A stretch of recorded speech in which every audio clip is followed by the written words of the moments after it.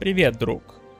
Это видео продолжение моего предыдущего видео, где я за Великую Орду возвращал татаро-монгольское иго на Русь. В целом я в этой задаче преуспел, но лишь частично мы вернули татаро-монгольское иго на часть территории Руси, включая Москву. В этом же видео, наверное, самой адекватной целью будет восстановить Золотую Орду. Для чего нам нужны еще вот эти территории и еще вот здесь. Поэтому есть нюанс в том, что воевать-то придется не только с Москвой, но и с Литвой, а это уже гораздо-гораздо труднее. Но я думаю, что мы как минимум попробуем с этим справиться. Так, а вот это интересно. Литва объявила войну Москве. Тем временем, пока у нас новый правитель, Кучум первый Чингизит. То есть я бы сказал, что война Литвы с Москвой в данной ситуации скорее нам на руку, потому что мы еще планируем воевать с Москвой, и нам выгодно, чтобы она была ослаблена. Правда, жаль, что нам еще ждать целых 10 лет до того, как истечет перемирие.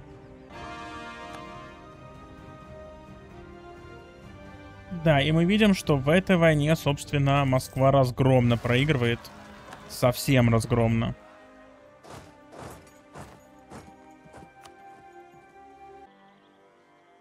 Так, итак, давайте-ка смотреть, э, какой разгромный мир получила Москва.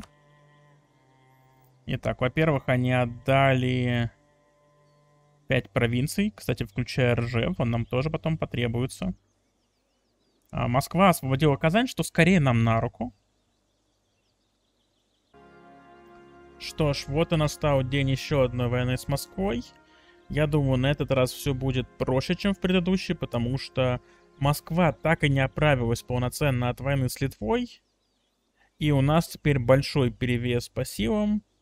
Но посмотрим, что будет.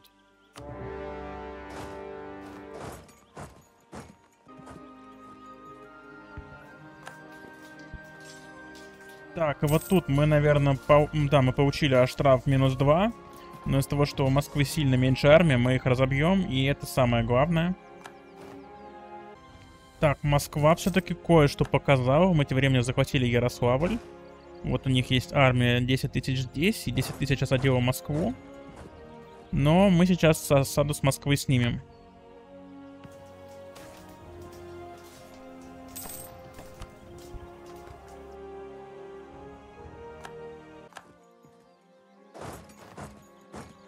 Так, и вот тут московская армия. Да, почему-то компьютер строит очень много артиллерии, из-за этого они несут большие потери.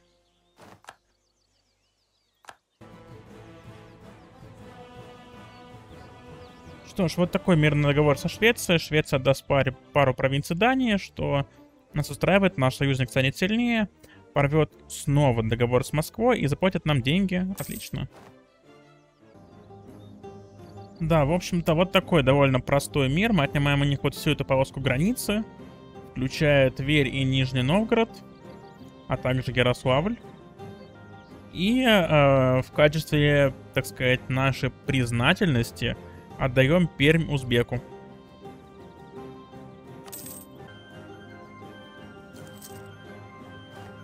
Да, Москва перенесла свою столицу в Галич. И на самом деле я не могу сказать, что мы так уж э, тотально разбили Москву, ну, точнее, разбили мы ее тотально, но Москва еще не так слаба, и она в будущем может оказывать нам сопротивление.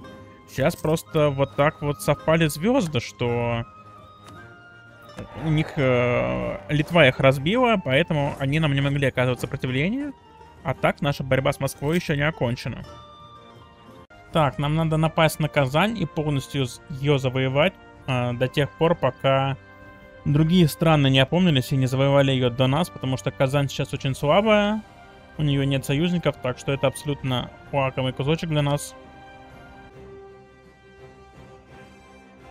Итак, как и ожидалось, война с Казанью получилась очень легкой. И мы немного приросли территориями.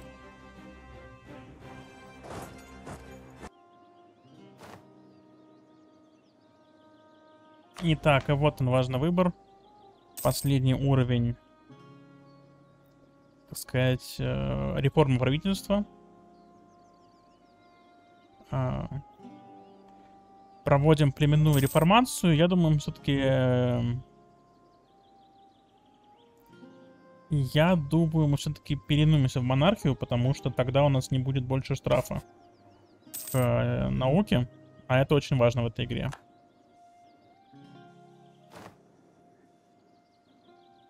Итак, мы стали султанатом.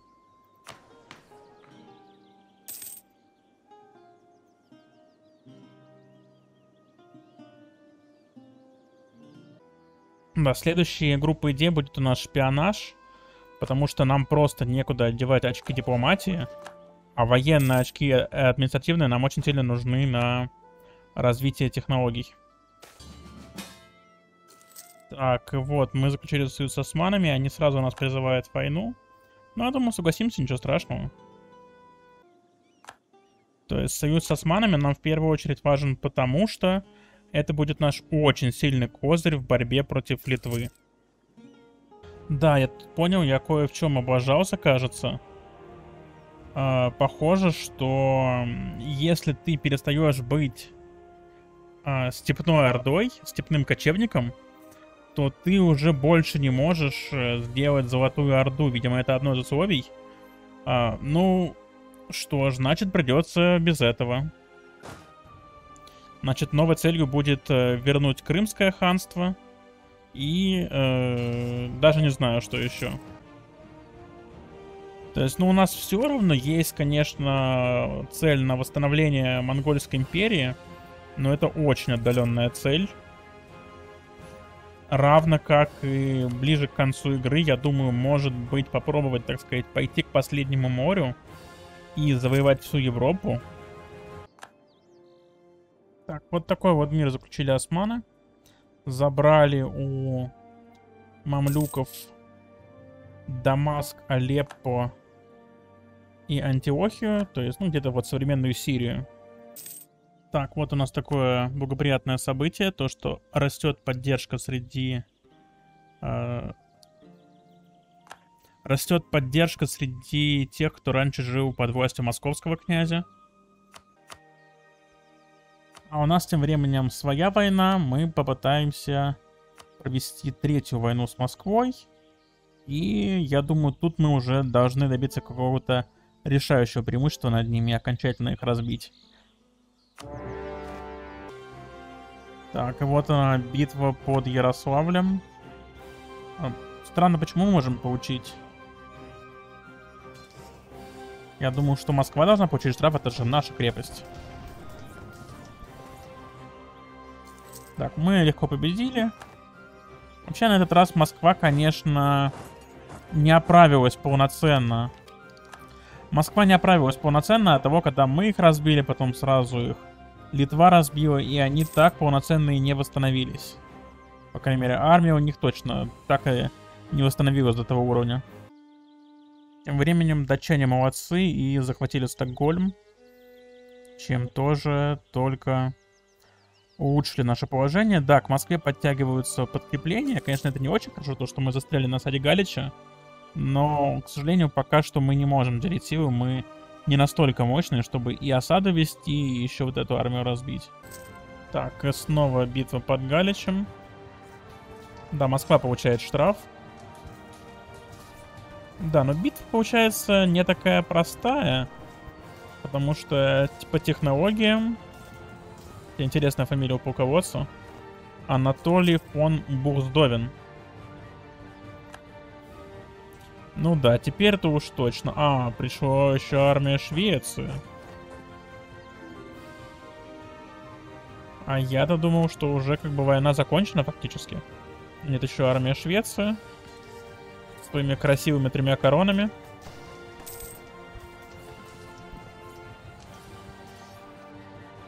Да, тоже просто не было, но мы победили.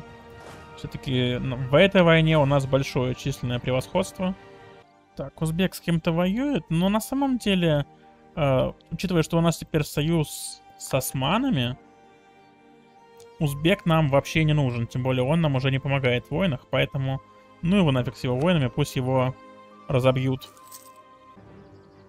Я так решил, давайте заключим мир со Швецией, потому что они сюда пришли помогать э, Москве, а без них у Москвы-то совсем сил мало. Поэтому вот такой мир со Швецией. Швеция передаст две провинции Дании, заплатит немного денег. Ну, а теперь, когда мы с этим справились, мы можем спокойно добивать Москву без какого-либо страха. Да, уже Василий Пятый восходит на трон Москвы. Но не очень-то удачно у него начало правления будет. Какое-то натуральное читерство. Я знаю, что от, от этого говорит у многих, то, что пока я осуждаю Москву, они уже взяли Казань, и сейчас еще и себе вернут Галич. Просто жесть. Да, и так и произошло. Смотрите, они... Пока я осаждаю одну крепость, они захватили две. Наконец-то. Вот смотрите, 575 дней садодливость. Просто какая-то жесть. Так, и Дания под Вологдой еще уничтожает совсем уже остатки московской армии.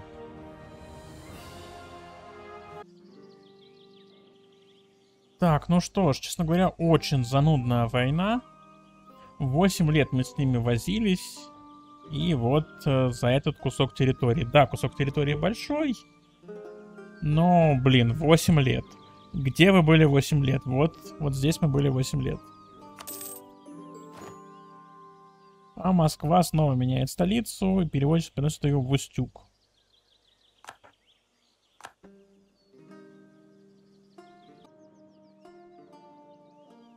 Да, мы, мы полностью отделили Москву от Литвы, потому что мне не хотелось, чтобы Литва вот все эти провинции отхватила и еще, еще больше усилилась. Потому что, я думаю, над Москвой нам уже хватит издеваться, и пора переходить к следующему врагу, а это Литва. Ну и, может быть, Гена. Но в первую очередь Литва, потому что хочется взять Крым. Ух, ничего себе. Москва вот прям так с пылу с жару объявила войну Ливонскому ордену. Да, и Москва, кстати, войну Ливонского ордена выиграла и вернула себе Новгород и выход к, и выход к Балтийскому морю. Итак, вот и настало время для нашей первой войны против католиков. Мы нападем на Литву, которая в союзе с Польшей и Геной. Это очень сильный союз, но у нас в союзе османы, поэтому все будет хорошо. Наш первый удар пойдет против Генуи, и только потом мы обратимся против Литвы. На нашу... Точнее, на эту войну у нас следующие цели. Мы возьмем вот эти две провинции, Ржев и Торопец, потому что они нам нужны, чтобы формально завершить э, миссию. Вот это вот, татарская ига. Эти вот две провинции нужны и две провинции Крыма, просто для нашего удовольствия. Ну а от Генуи что получится, то и получится. Тем временем мы видим, как на Кавказском фронте к нам пришли помогать османы. Пока мы завоевываем, так сказать, генуэзский Кавказ. Так, и вот она очень важная битва. Османы борются с генуэзской армией. Бьют ее, тем временем мы очень быстро завоевали Крым нашей второй армией. Итак, упала генуэзская крепость Карс, которая находится на территории современной Грузии. И я думаю, это пора, это время заключить мир с Генуей. Разумеется, на наших условиях нет, они не готовы. Что ж, нужно больше воздействия. Так, но зато время добивать генуэзскую армию. Тотально добивать. Да, полностью уничтожено 15 тысяч, точнее 14. Итак, все-таки согласилась Гена на наш щедрый мир. Мы взяли у них одну провинцию, вот эту в Крыму. Ну, с расчетом на то, что эти провинции мы тоже сейчас вскоре заберем. И плюс деньги. Так, и вот она, воистину великая битва. 25 тысяч против 21. У литовцев штраф. Но мы надеемся, что к нам сейчас придут османы и все разрулят.